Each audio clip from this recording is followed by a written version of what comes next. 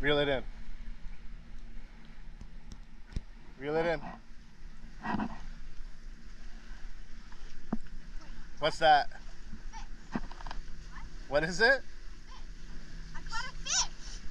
I caught a fish! Bring it over here. Let's go! Daddy, No, no, no, the fish. Bring the fish, not the rod. What were you saying? I, I think we could. I think I. Unfortunately, we got I gotta be real got him in a bad spot. Yeah, but at least we got him. Yeah. There we go. There you go. There's your first fish, little bass. Oh, I got a bass. All right, you ready to let him go? Here, you can do the honors.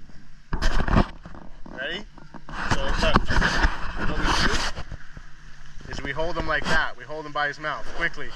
Grab him by his mouth, and then just toss him right back in. There you go. All right? Better?